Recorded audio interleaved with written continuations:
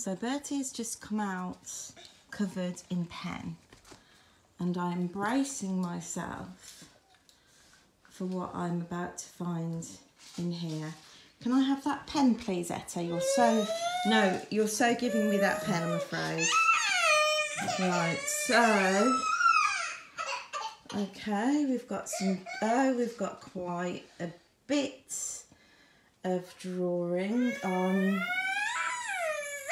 the white leather sofa. This is because Daddy left the door open while I was out in the garden. Let me just check that we haven't got any drawing on our nice new clothes that we're going to be wearing for Fergie. Good. No, Etta. Etta's got no nappy on, so we're trying to keep above the headshots. Okay, so it looks like the only casualty. Yeah, Etta, we can't. Mummy's looking at what damage you've done. Look, what's this? Did you draw on the sofa? Did you draw on the sofa? Was that you? Oh dear. Who did? Was it you, Bertie? Because why have you got why have you got pen all over you?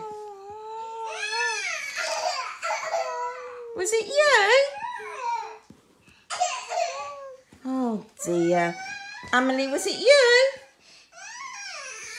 Did you draw on the sofa? Oh, who's done that? Who's drawn all over the sofa? Did Daddy leave the door open?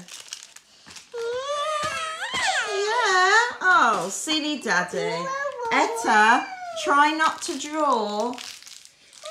Try not to draw on the sofa again, okay? Even if you find a pen, can you resist the temptation, please? Yeah.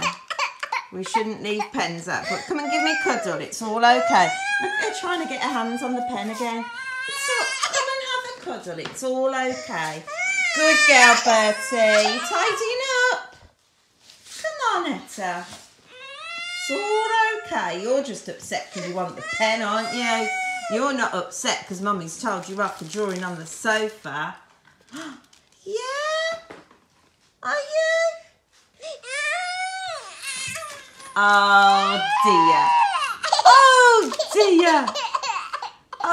Dear. Come on. Come and have a cuddle. Come and have a cuddle. Say bye-bye then.